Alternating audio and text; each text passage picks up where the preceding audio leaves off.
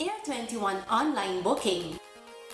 Book, pay, ship. www.onlinebooking.air21.com.ph The first complete online platform for shipment booking, payment, and package pickup and delivery in selected areas in the Philippines. Another innovation by Air21. Sagot ko, padala mo!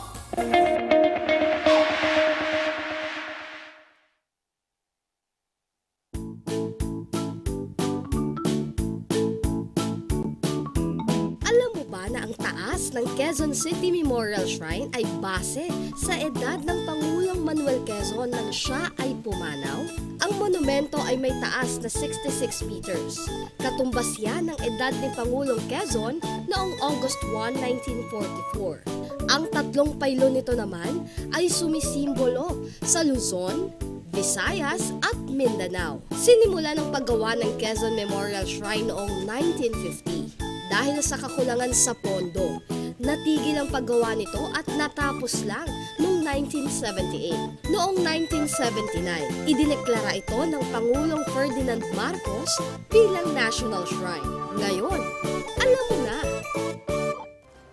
Welcome back sa Panahon TV. Sa puntong ito, alamin naman natin ang mag-iilagay na panahon at agwat ng temperatura para sa Luzon, Visayas at maging sa Mindanao. Pangkalatang maaliwala sa panahon ng iiral sa malaking bahagi ng Luzon, partikular yan sa Tugigaraw, Lawag, Baguio, Metro Manila, Olongapo at maging sa Tagaytay. Pero posible pa rin ang mahina hanggang sa katamtamang pagulan lalo na sa dakong hapon o gabi dulot ng localized thunderstorms. Samantala dito naman sa Legazpi at maging sa Puerto Princesa, maulan na lagi ng panahon ng iiral. Temperatura sa Metro Manila aabot ng 35 degrees Celsius. At pumunta naman tayo dito sa Visayas. Dahil patuloy pa rin umiiral ang ITCZ o Intertropical Convergence Zone, asahan ang maulan na lagay ng panahon sa Tacloban, Iloilo, Bacolod at maging sa Metro Cebu. Ang temperatura sa mga nabanggit ko lugar maglalaro yan sa pagitan ng 25 to 34 degrees Celsius. At tumako na tayo dito sa Mindanao dahil patuloy pa rin ang pag-iral ng ITCZ asahan ng maulan na lagay ng panahon. Kaya naman sa mga kababayan nating papalis na magdala ng payong o panangga sa ulan. Partikular yan dito sa Cagayan de Oro, Zamboanga at maging sa Durian Capital of the Philippines, Metro Davao. Temperatura dito aabot ng 33 degrees Celsius.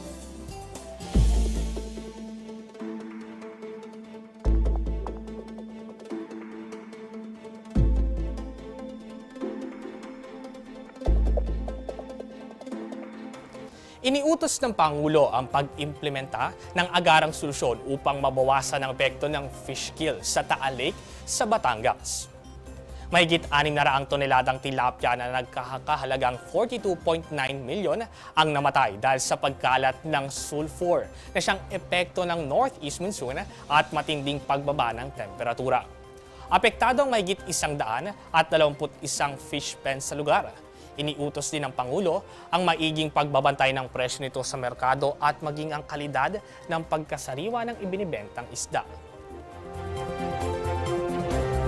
Bukod sa sulfur, nakamamatay din sa isda ang algam bloom na kapag kumalat, posibleng magdulot ng red tide. Narito ang mga lugar kung saan nakataas ito. Pinagbabawal ang paghuli, pagkain o pagkonsumo ng anumang laman dagat sa Dawis at Tagbilaran City sa Bohol. Kabilang na rin ang Baliti Bay at Mati City sa Davao Oriental, San Pedro Bay sa Western Samar.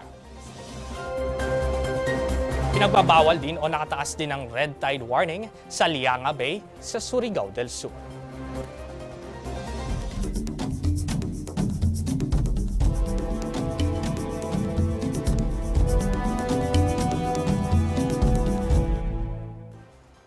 Gamit ang HARPS North Spectrograph sa Italian National Telescope sa La Palma, natagpuan ng mga manaliksik ang vaporized rare elements ng ating mundo sa isang exoplanet 650 light years ang layo mula sa atin. Ang Kelt 9b ay isang exoplanet na may temperaturang umaabot ng 4,000 dahilan upang ito ang maging pinakamainit na exoplanet na natagpuan.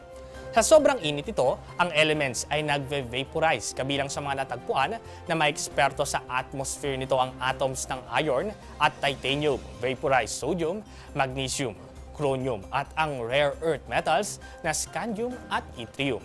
Ayon pa sa kanila, gamit ang kaparehas sa pamamaraan, posible rin makahanap ang mga mananaliksik ng palatandaan o senyales na may buhay sa ibang planeta. Importante ang pag-aaral nito upang masagot ang pinakamainit na tanong sa ating kalawakan, kung posible bang may iba pang buhay bukod sa ating mundo. Samantala, narito naman ang iba pang datos sa astronomiya.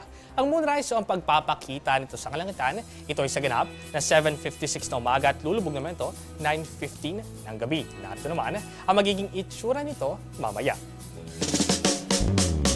Tinatawag ding young moon ang isang waxing crescent moon. Ito ay lumilitaw sa kanluran matapos ang paglubog ng araw. Less than half ng buwan ang nakakatanggap ng liwanag at makikita rin na mistulang nakasmile ng malipis ang ating buwan. Ibig sabihin ng waxing ay increasing, kasabay ng pagdagdag ng liwanag ng ating buwan. Para sa masigtas na pamamalaot ng mga kababayan nating maing isda, ang high tide natin along Manila South Harbor ay sa ganap na 11.11 na umaga. Tataas ang level ng tubig ito ng 1.33 meters at ang low tide kung saan bababa naman ito ng 21 meters. Ito ay sa ganap na 7.58 ng hapon. Tumaas na ba ang level ng tubig ng mga dam dahil sa ilang araw na mga pag-ulan? Narito ang pinakauling datos.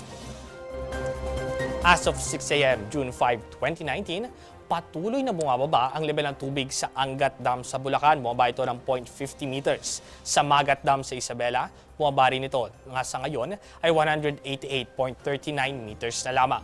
Sa Pantabangan Dam sa Nueva Ecija, bumaba rin ang level ng tubig nito ng 0.04 meters. Diyan lamang kayo at magbabalik pa ang Panahon TV.